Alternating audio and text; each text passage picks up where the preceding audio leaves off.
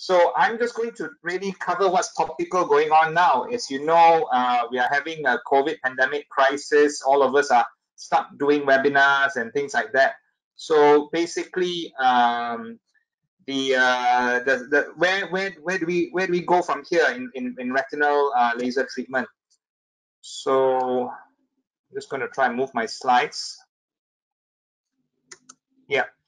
So um, in Malaysia, I mean, we've had three months of lockdown now, and uh, we are slowly getting back to normal. But uh, what, what, what, I've noticed is that diabetic retinopathy is not going anywhere soon. And in fact, I feel that the incidence has increased because of us spending too much time at home watching Netflix and eating too much and uh, not exercising enough. So how are we going to manage all these cases of proliferative diabetic retinopathy? That's a big question.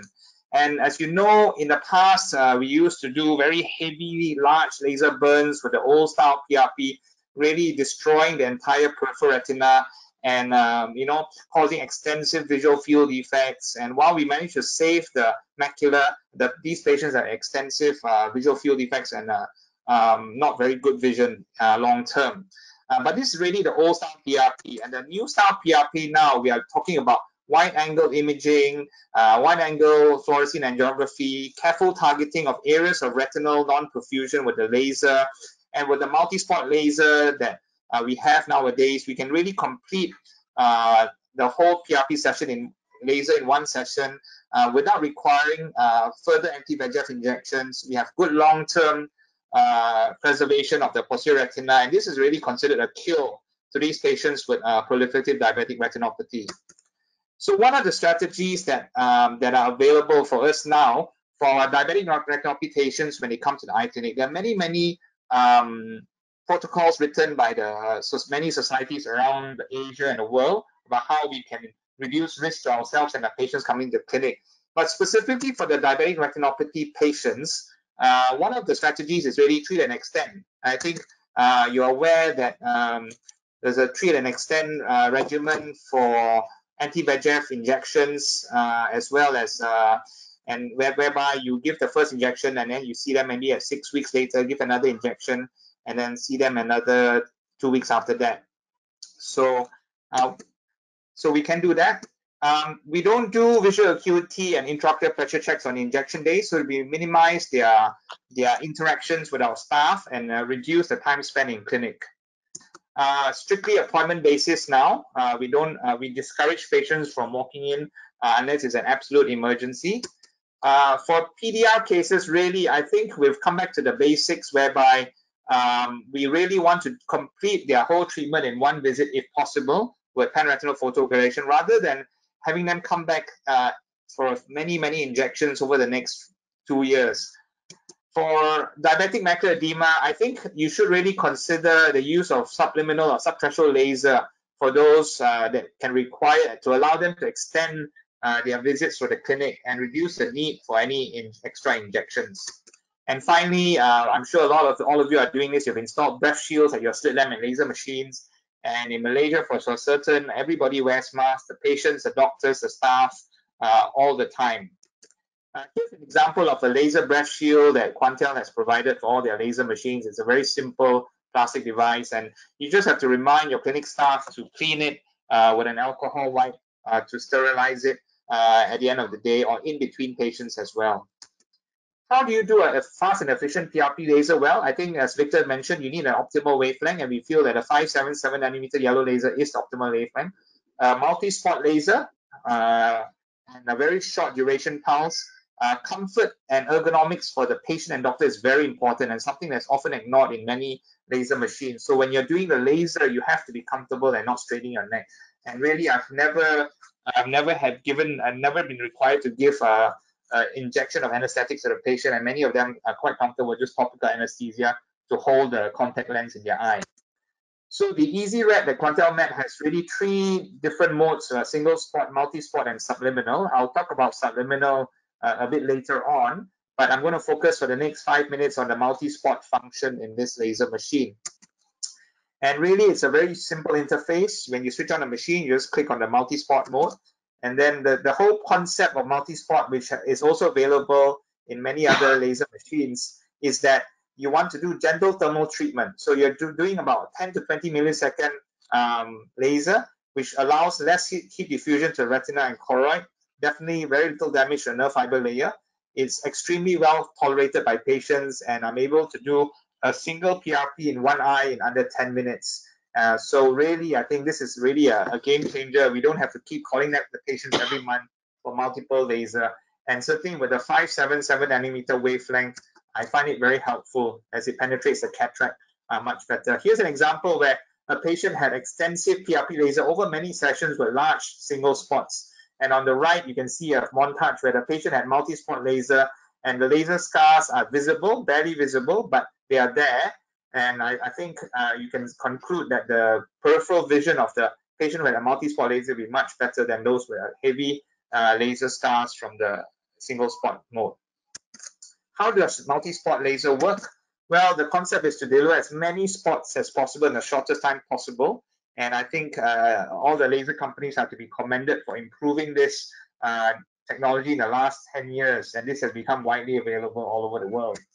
Uh, so we can customize the patterns that you want. Uh, I use the square, the, the three by three square most of the time, but you can have wedges, you can have circles, or you can have single spot.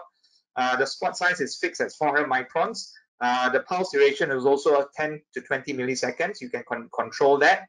Uh, you can. The most important then, then you just control the power level and then uh, titrate it until you see a, a, a, burn, and then you can use that for the rest of the rest of the eye and complete the laser very quickly.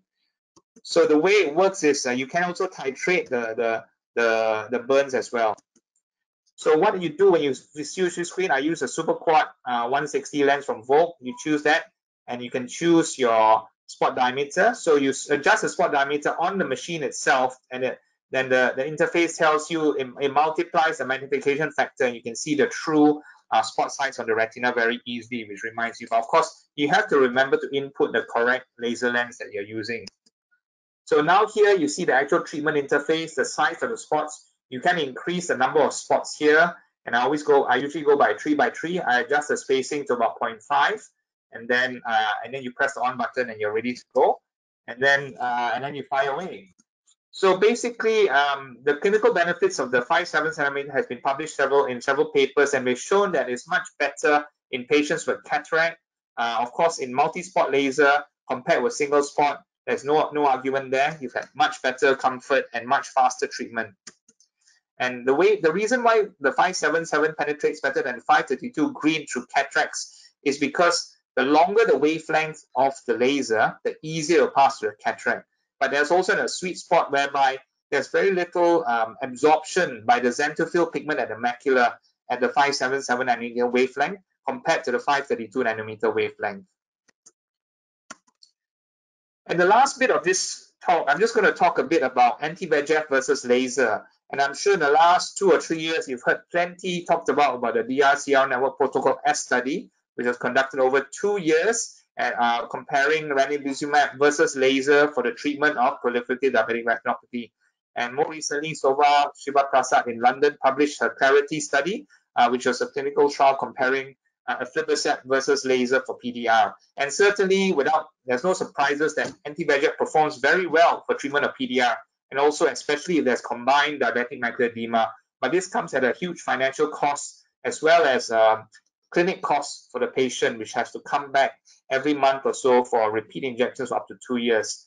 Compare this with laser, which has been around for more than 40 years. And then from the very beginning, the diabetic retinopathy study published 46 years ago to the ETDRS study, we have more than 40 years of clinical evidence to show the efficacy of laser to treat proliferative diabetic retinopathy at a very cost-efficient uh, uh, function. And certainly, I think this is something that you all should bear in mind especially in the COVID-19 era where you really want to minimize the patient visits. And if you have a patient and you're concerned that they may not come back for follow-up visit, I think a laser would be definitely the first line of treatment. At least they've had the session of laser that potentially cure them from the proliferative retinopathy rather than give them, giving them an injection that only gives them a temporary cure, which may then flare up again.